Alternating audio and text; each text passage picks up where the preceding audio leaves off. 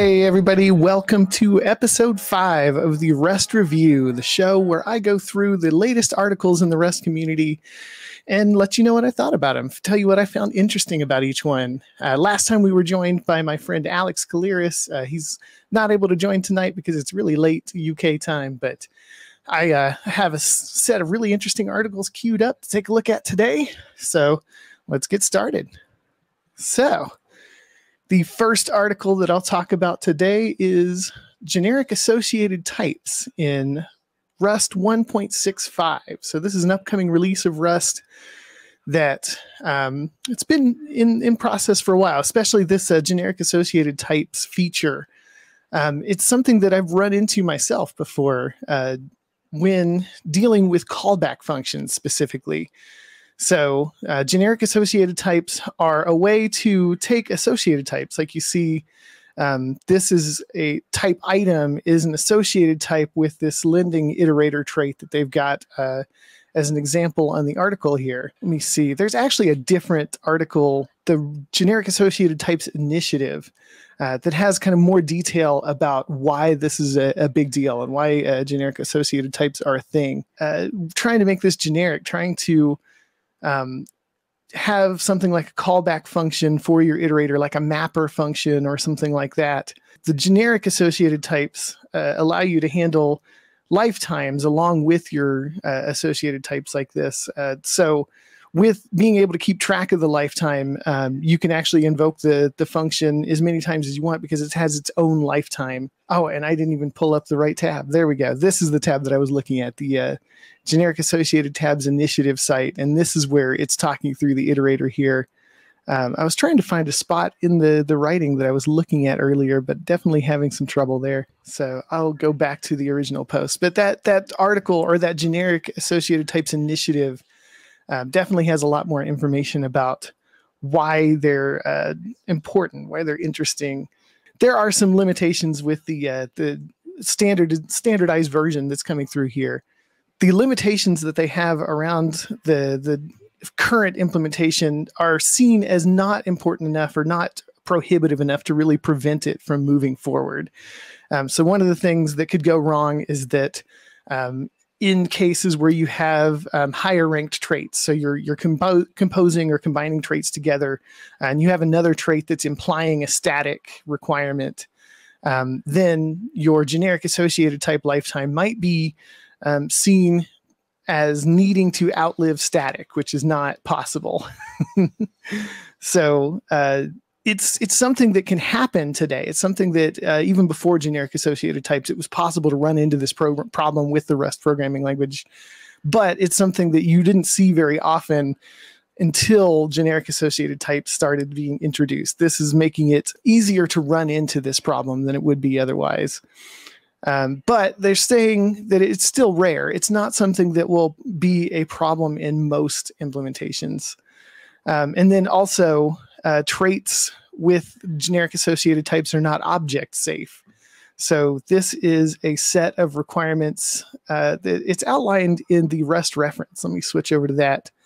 Um, the Rust reference has a, a, a, section on object safety and what it means. Uh, but essentially, if it doesn't meet this set of requirements that's outlined here in the Rust reference, then it can't act as a base trait that can be augmented with uh, other auto traits. So if you want to use that, then you can't use that with generic associated types right now because they're not object safe. So they can't act as that base trait that you're uh, enhancing with the auto traits. Um, in any case, despite that, I uh, I definitely think that it's exciting to see this uh, kind of making its way towards standardization. It's something that really will enable more more abstractions, better abstractions that are easier to work with and yeah, okay, that was the other thing. There are a few false positives that it's picking up in the borrow checker. So, um, false positives meaning things that aren't really a problem, but the, the borrow checker thinks they are, so it blocks it. Uh, and that's one of the things that that makes Rust different, I think, because it goes the extra mile to make sure not only is it unlikely to have undefined behavior, it's actually uh, prevents any situation that could result in undefined, undefined behavior, even if not you're not using it in a way that would introduce undefined behavior, Rust goes the extra mile to prevent that from being possible. And that's a big part of why it's a more memory safe language and why it's um, more reliable, I think, than more higher level languages typically are. Um, so in any case, obviously you can see by my uh, difficulty in explaining generic associated types before I started the video, I thought I understood them. And then when I jumped into trying to explain them, I realized, yeah, I don't totally get it yet either. That's definitely something that I want to dig into more. Uh, and hopefully the uh, the rough edges around generic associated types are something that'll be uh, able to be smoothed over before uh, most people actually run into cases where they uh, actually uh, cause an issue. Uh, this is something that's been a long time coming, and it's not fully done, but it's oh gosh, six and a half years coming. I didn't realize it was quite that long. Um, so it's exciting to see it finally reaching this this stabilization stage, even if uh, it's not perfect. So the next article I want to pull up. Um, this one is from the Rust Foundation blog, uh, and it's written by Folkert de Vries. He's an embedded software engineer at uh, Tweed Golf. They're a software consultancy in the Never- Netherlands, and they're a member of the Rust Foundation. Uh, and so he guest posted here on the uh, the Rust Foundation blog to talk about implementing a network time protocol client and server with the goal to first deploy it to Let's Encrypt uh, to make it kind of public within the Let's Encrypt offerings, and then later on as a more broad, publicly available service uh, everywhere. He first starts out talking about what NTP is, what the network time protocol is. It's a way to keep your devices synchronized to accurate time because, uh, like he talks about, clocks drift. They can drift uh, pretty meaningfully, even uh, just in the space of a few hours. Time is typically kept track by atomic clocks, the real time, the the source of truth for time, and so NTP kind of synchronizes regularly with the atomic clock information to correct that drift uh, before it becomes noticeable. Uh, and the reason that, it, that it's so important is that it's a really foundational part of the internet and how TLS certificates and security is built around. So if somebody could change the time or you take advantage of imprecise time because of clock drift or um, something like that, then uh, you could trick the system into believing that an outdated certificate is still valid and trust something that it shouldn't be trusting. It's definitely a really important part of the internet, but there's not a lot of safe implementations here. And that's what the Prossimo project that uh, this project, this NTP service is a part of. Uh, that's what their their overall goal is. So their goal is to provide memory safe implementations for pieces of software that run the internet wherever we can. Using Rust to re implement things uh, based around the spec. So they actually use the original uh, NTP spec here. Some of the other uh, services that are out there don't follow the spec exactly. And so that was one of the distinctives of this project. And uh, using Rust to make that uh, more memory safe. So this Rust code that makes it hard or oh, in some cases impossible to do things that would open up the kind of uh, security vulnerabilities or um, unstable behavior that you see in other environments. He, he talks about why Rust and he talks about how he modeled the implementation in Rust. So, see where in the article there it was. Yeah. So he's talking about how they built it with this core, this NTP proto module at its core um, that is just essentially pure functions that are easy to test. Uh, this is a strategy that I like to use a lot too. Uh, functions that have clearly defined inputs and outputs. They don't have side effects that impact things outside of the inputs and outputs. Um, they're deterministic, easy to set up in a unit test and pass in mocked uh, dependencies and things like that. Um, so basically, what they did was they they returned instructions for the kind of network calls or clock modifications um, that they need to execute each time that they need to update.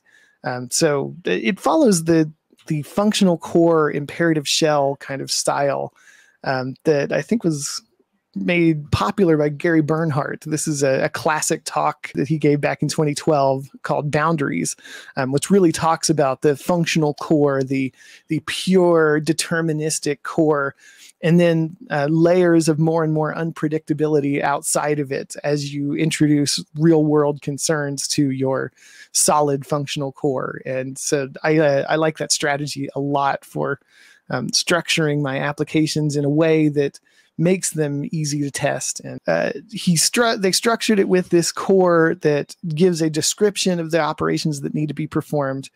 Um, for network communication, they they went low level with it. They actually went down to uh, Unix sockets because um, Unix sockets provide more accurate send and receive timestamps. He says, but um, you've got to configure the socket with functions from libc but libc itself is really unsafe like they're saying. It's it's not built with the same kind of memory model that rust is uh, and it doesn't have really comprehensive documentation. So um, they they dug into libc and figured out how to contribute to it in a way to make it more safe to give it a safe async version um, of timestamping there so that they could go ahead and make use of the unix timestamps uh, and then manipulating the system clock wasn't very straightforward either. They found that uh, it's not exposed by the standard library.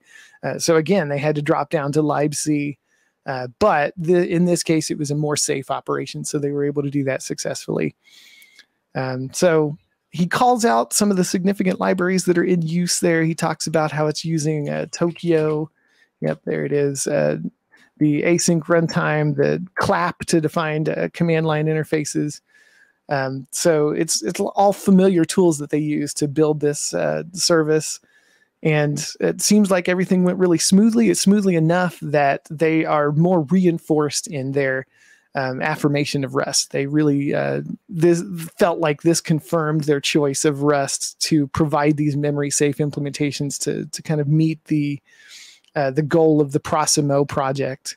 Um, Prossimo is a project or a, a, initiative, I guess, from the Internet Security Research Group that contracted with uh, Tweed Golf to do this. So it's exciting to see um, some of our internet backbone uh, being improved or or rebuilt in ways uh, that are more reliable and safe. And I know Rust uh, has some pretty great performance characteristics to go along with all this too. That was one of the things we talked about in the last episode was how it really uh, the performance is a side benefit. It's exciting, it's great, but the real goal here is the safety and the stability that and the the protection from security issues that this provides. Uh, next up, I am going to switch to something a little bit different, something uh, that comes more from the community that I have a lot of experience with. Uh, as a developer, I, I, started out in the Python uh, and Django ecosystems uh, and then moved to React and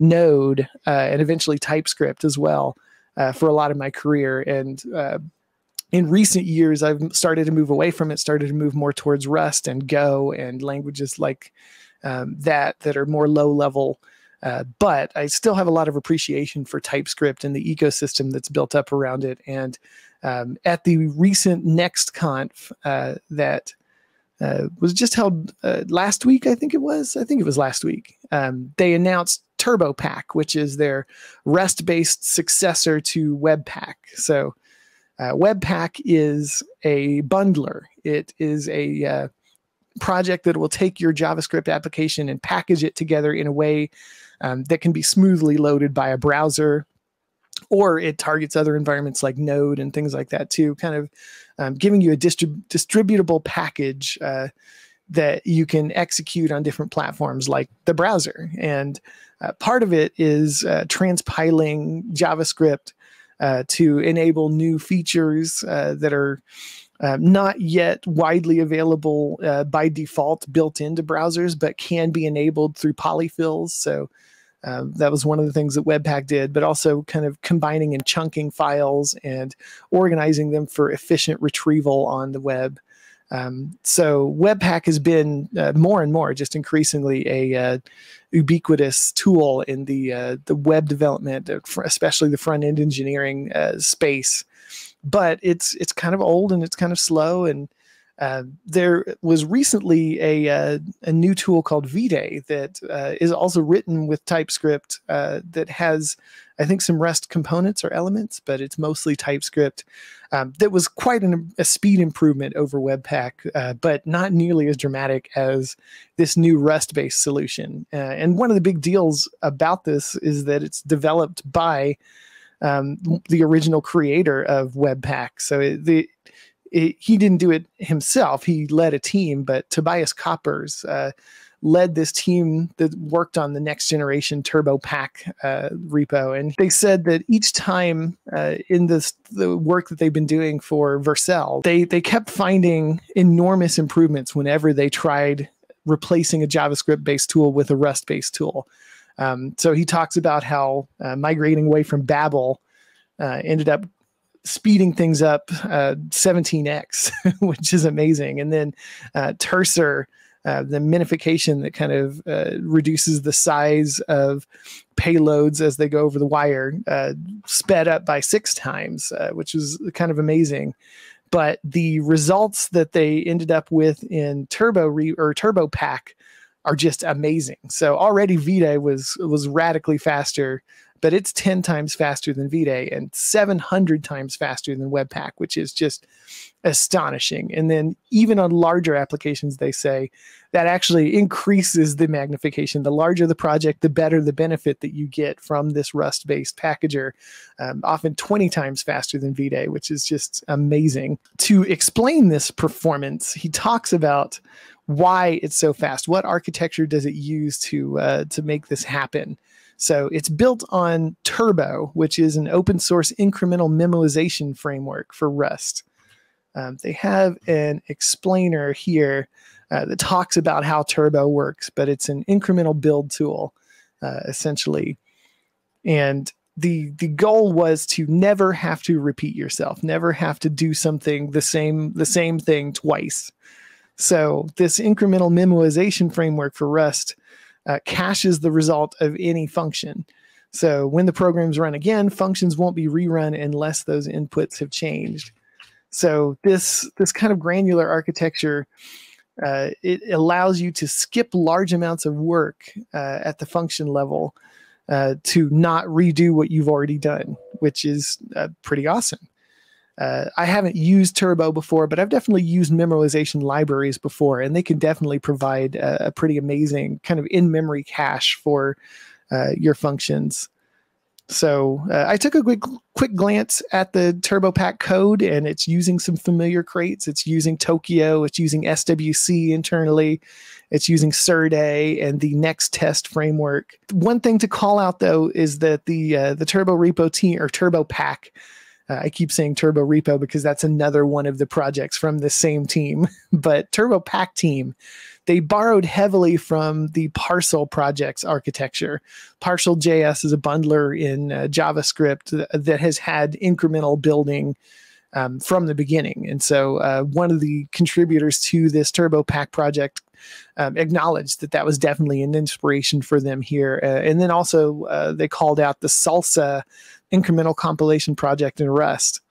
So uh, it's it's an impressive feat that they pulled off here. It's going to be a big impact to front end engineers, but I think the adoption is not going to be without its challenges. Uh, JavaScript developers are used to writing plugins for their tools in JavaScript, and learning the learning Rust and its uh, interesting syntax and lifetime tracking isn't easy. It's definitely going to take some time before we see the same kind of plugin ecosystem form around TurboPack um, that the Webpack project has enjoyed for a long time now. But I think the the benefit here, this 700x improvement, is going to be quite a motivation to to inspire people to pick up Rust and to learn it more. It's it's really um, spreading at a rapid pace in a lot of different ways. Sticking on the topic of JavaScript for a few more moments, uh, I wanted to talk about the Boa JS project. They shared a post um, recently and uh, talking about uh,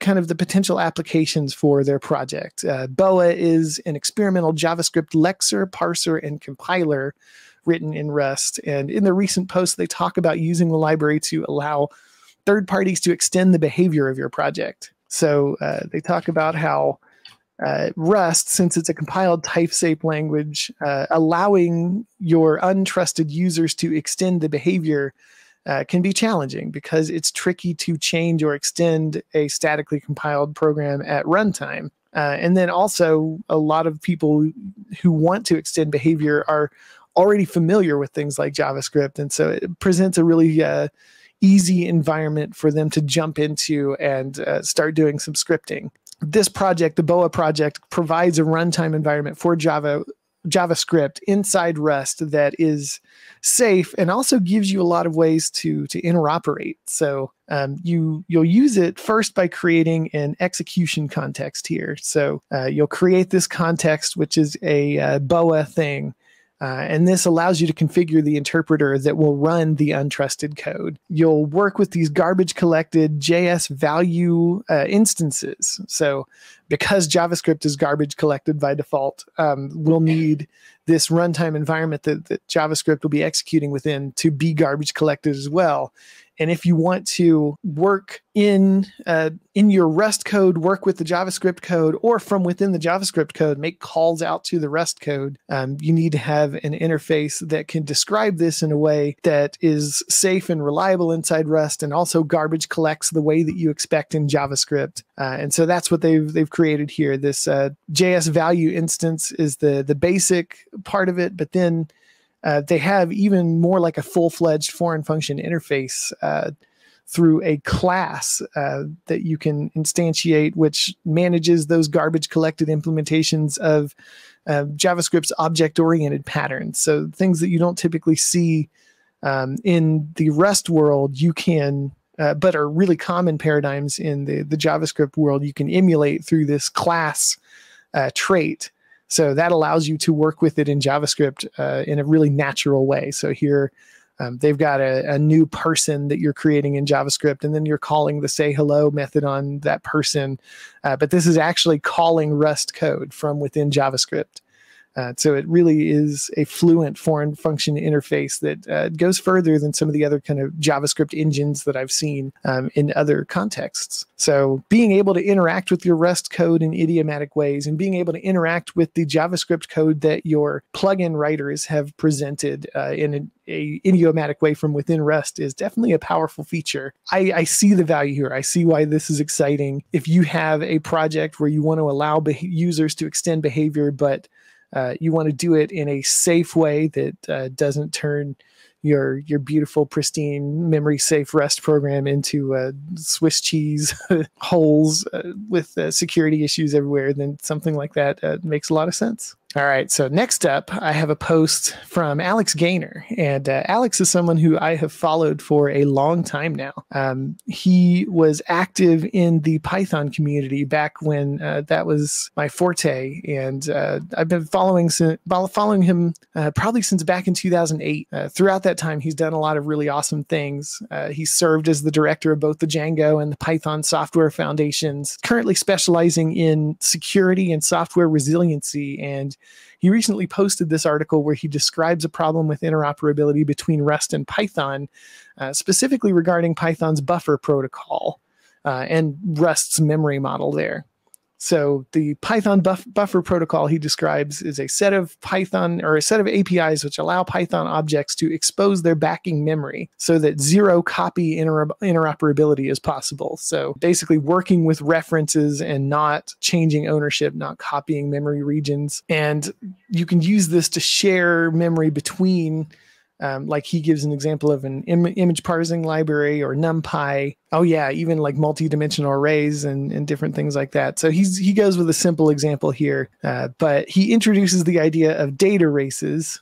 This is one of the core concerns when you're working with multi-threaded code. So to prevent a data race, um, well, let's first see. Uh, yeah, he says data races are a type of race condition that happens when a write and a read or write to the same address occur from different threads without synchronization.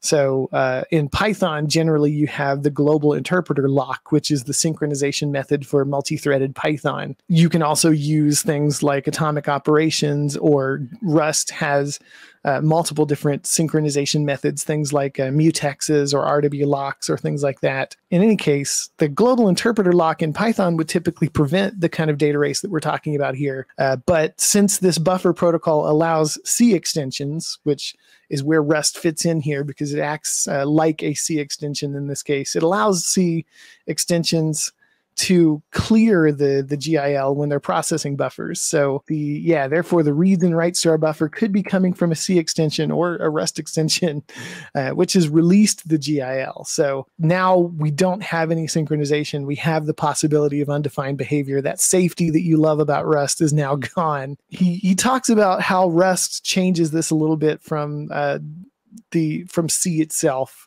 uh, because Rust introduces this notion of soundness, which is being sound is definitely more strict than just C's aversion to undefined behavior. So C behavior is generally about runtime, but soundness is about hypothetical, projected, how it could be used regardless of what's actually happening right now. I, I love the way that he uh, introduces this. He says, A function is sound if it's impossible to trigger undefined behavior with any combination of arguments it takes. It goes the extra mile to make sure there's no way to call it in a way that uh, can cause an undefined behavior. And that's um, the core of soundness. That's where languages like Java fall over because there are ways to trigger NPEs, uh, the bane of any Java developer's existence. Uh, there are in Go also. Go is not a sound language. There are plenty of ways to get yourself uh, a null pointer uh, exception there. The challenge when you're interoperating with these Python buffers is that uh, you can't really represent them in Rust in a sound way currently. So he talks about how we've got a Python buffer. We want to represent that data in in Rust. Um, so the the type that he was talking about would most re- most uh, accurately be represented as a a U8 reference like that. But because of concurrent writes, this is unsound but you can't make it a mutable uh, U8 because the the buffer protocol doesn't prevent one or it doesn't limit you to just one mutable buffer uh, like rust does. So rust makes sure that you can only have one mutable reference at a time.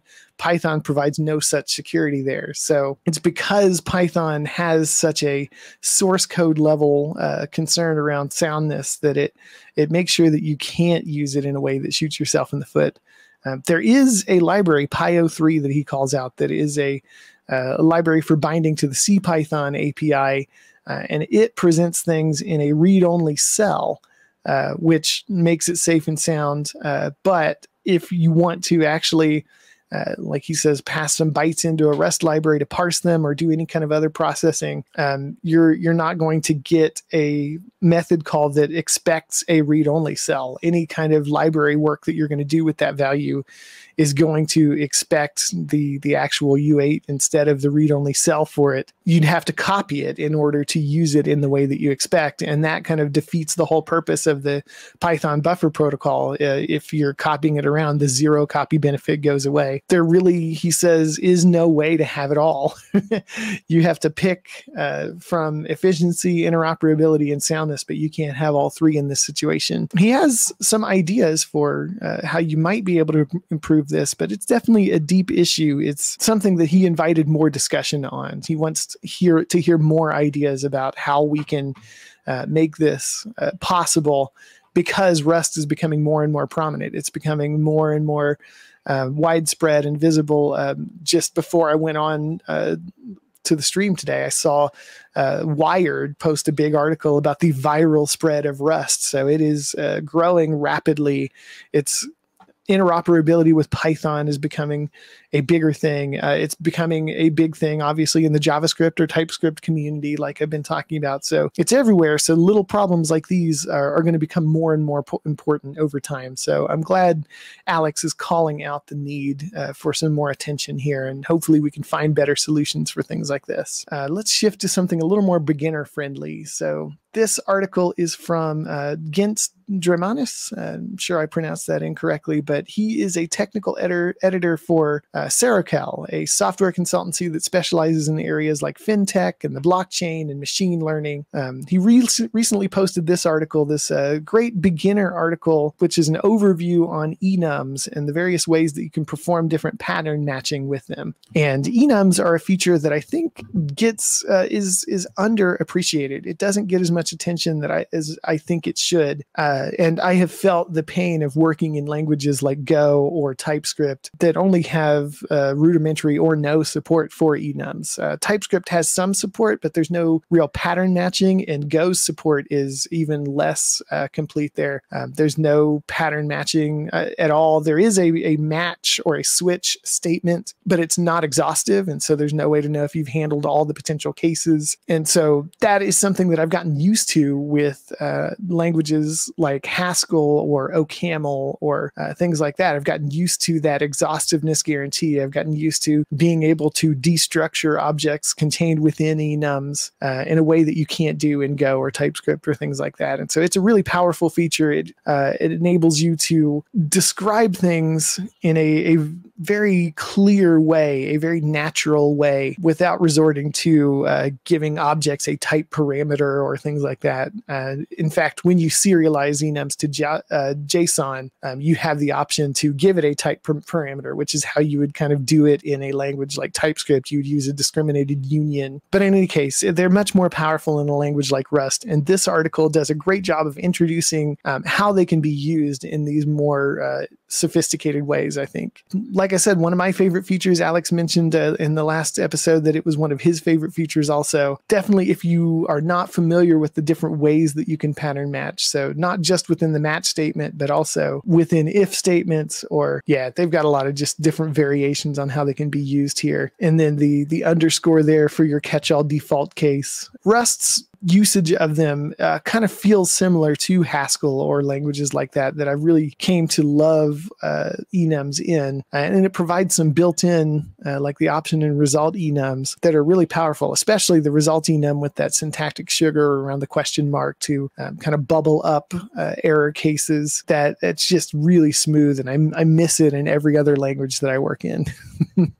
so if you're if you're less familiar with enums or the different ways that you can use these pivotal language constructs or if you're just starting out and uh, you want to make sure that you don't have any gaps like i i've definitely found little cases here and there that oh i didn't know that. Uh, definitely check out this well written and detailed article and shore up your knowledge of enums. Something else from the haskell ecosystem uh, that I kind of miss in this world is uh, property based testing, or in Haskell, it's called QuickCheck. And there are libraries in other languages like OCaml, and uh, I think there's even some TypeScript support too uh, for doing a similar thing here. So it's kind of like fuzz testing, and he he talks about the difference between uh, property based testing and fuzz testing. but first off, the author here is Sergey Potapov.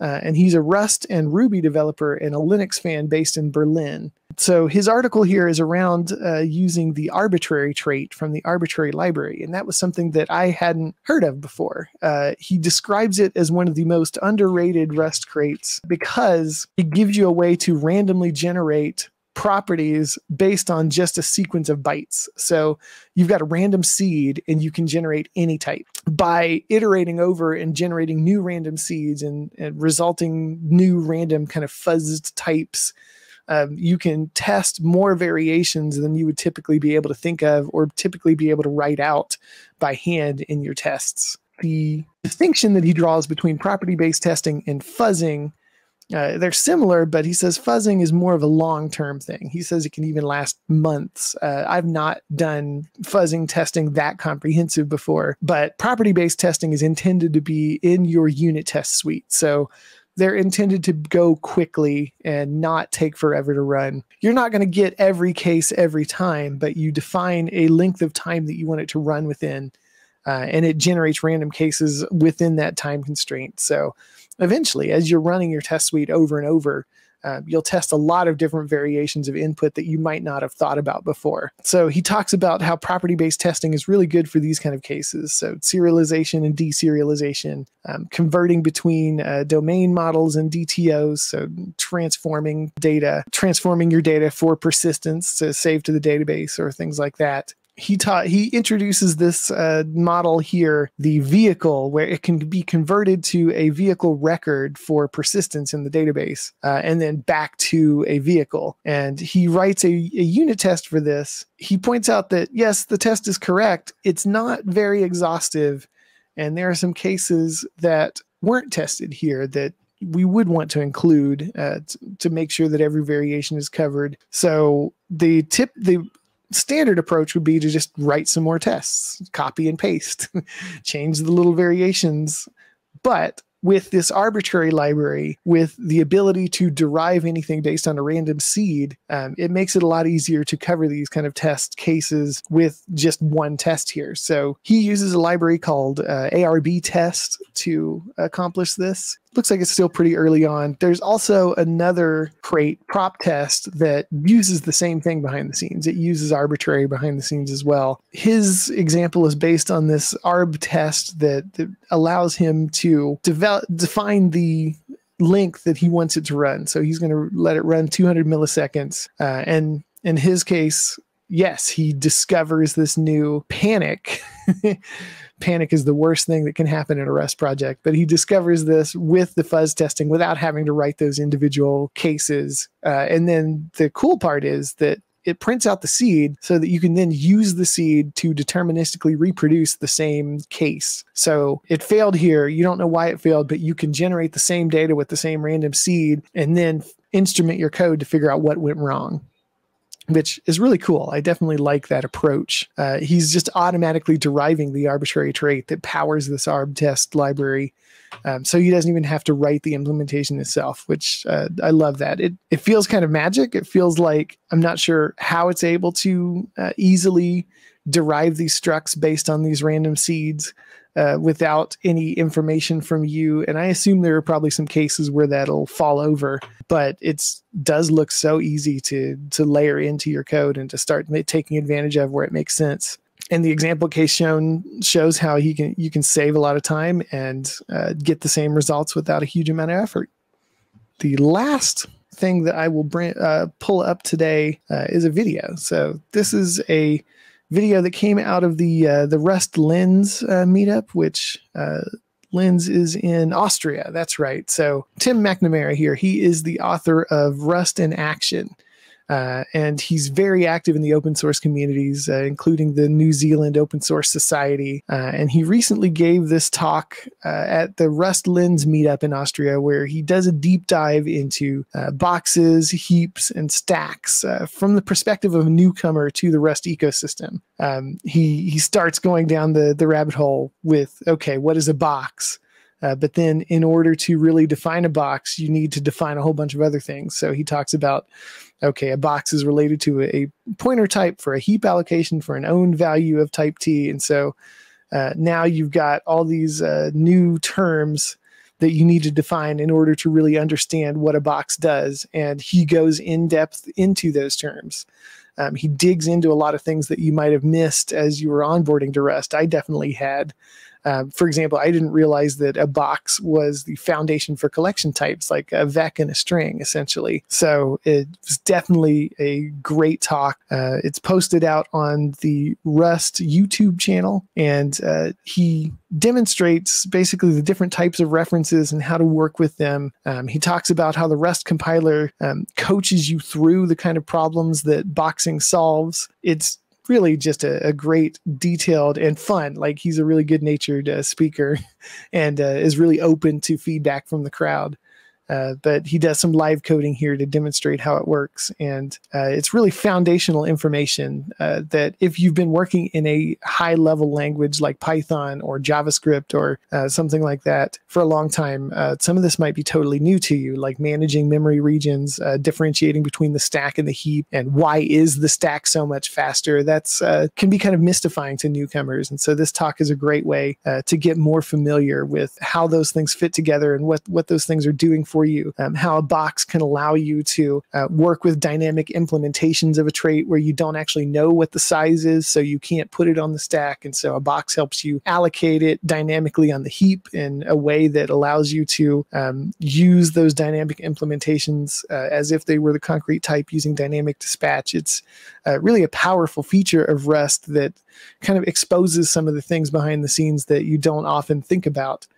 Uh, but they're really important, and that's part of the the uh, amazing tool set that Rust gives you to manage things. that are really abstracted away for you in other languages in a way that can be really limiting in a way that causes a lot of problems at times so definitely take a look at this talk uh, any, anything on the Rust channel, there's a lot of great content that's posted here on a regular basis. But this in particular caught my attention because it filled in some of the uh, those details that I missed, the gaps in my knowledge as I was getting on board with uh, Rust. Uh, I'm finding a lot of that as I go along, and I love great talks like this that share the information. I think that's it for today. Uh, I really enjoyed going through all the articles and uh, kind of trying to find how to explain them. Uh, like you saw, I had some trouble explaining generic associated types at the beginning. Uh, and so that helped me realize that's a gap. I, I thought I understood GATs and I really don't. So I need to go back and brush up on them more. Uh, and so the more articles that I sit down and really summarize and, and try to figure out how to explain them to others, the better I understand uh, these topics that I'm digging into. Um, I'm also planning on doing some live coding this uh, Friday to m- continue moving forward the uh, the WebSocket implementation that I've been working on. Uh, I'm going to be introducing a Redis channel solution for uh, horizontal scaling, so that you can send messages from one instance of your application to another instance.